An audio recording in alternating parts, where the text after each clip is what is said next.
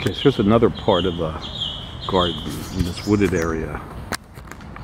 All these statues and stuff and trees. It's very peaceful.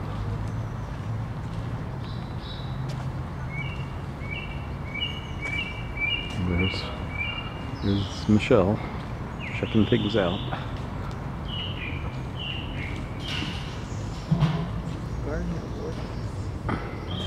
Garden of what? Oh,